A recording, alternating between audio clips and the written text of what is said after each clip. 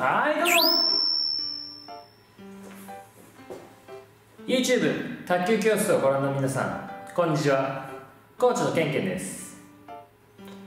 皆さんコロナ禍でどのようにお過ごしですか？僕は去年の4月からレッスンではずっとマスクをつけてレッスンしてますね。感染症予防にも基礎体力を上げてストレス発散をするのも良いことだと思いますよ。この状況下の中でも卓球の練習がしたいという方も多いんじゃないですか。僕もずっとマスクをして練習してるよ。でもフットワーク練習がきつすぎる。えい。はあはあえい。はあはあえい。はあはあえい。はああえい。ああえい。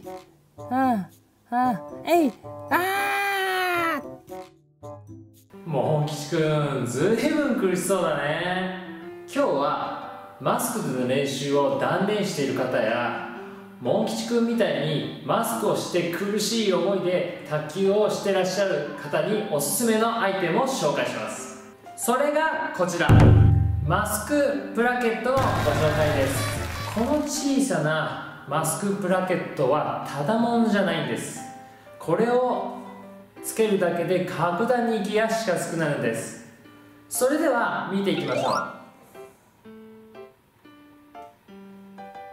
えっ、ー、と 5g ですね。とても軽いですね。プラスチック製なのでつけた時は少しひんやりしますがスポーツ時には気持ちがいいですね。不織布のプリーツに引っ掛けるところがあるんですけど見えますかね？ここ、ね、左右にありますがマスクをこれ引っ掛けなくてもマスクにこうやって入れるだけでも大丈夫そうです。横はこんな感じですね。卓球をしていてブラケットが落ちそうになる方は少しマスクの下をこうちょっと折ると心配ないですね。こういう感じですね。装着した感じここの空間ができるんで意識すごく息がしやすいです。ちょっと試しに息を吸ってみましょう。あ張り付かないで空間ができて息がすごくしやすいです。本当僕もやってみようかな。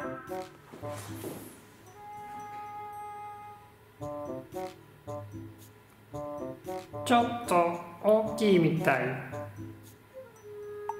世の中では感染症対策効果が高いマスクといえば不織布マスクと言われてますよねしかしスポーツをするのには不織布をしていても息苦しくってこれでは動けないという方も多いかと思います。不織布でも卓球練習スポーツができるアイテムのご紹介でした。私が働いている TOM 新井薬師店ではスタッフ全員 PCR 検査済み生徒様には入室時はアルコール消毒と検温。換気は常時卓球台やボールを消毒マスク着用と徹底しております。今回ご紹介したマスクプラケットは TUM 卓球クラブに来られた方の全員に無料でお配りさせてもらっているものです。皆さんも安全を確保した上で卓球を楽しんでくださいね。バイバイ。